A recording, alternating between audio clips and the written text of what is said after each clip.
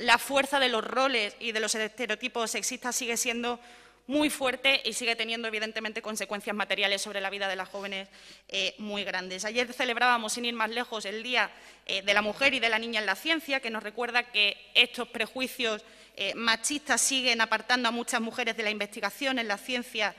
más punteras. Y, de nuevo, aquí, en la base de las formas de violencia que sufren las mujeres en nuestro país están los estereotipos que hablan del amor romántico, que puede llegar a ser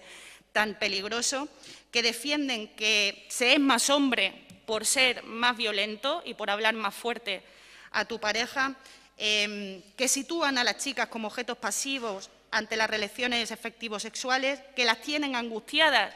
continuamente y juzgadas continuamente por su aspecto físico, que incluso las llevan a aceptar en muchísimas ocasiones relaciones sexuales que directamente es que no quieren eh, mantener.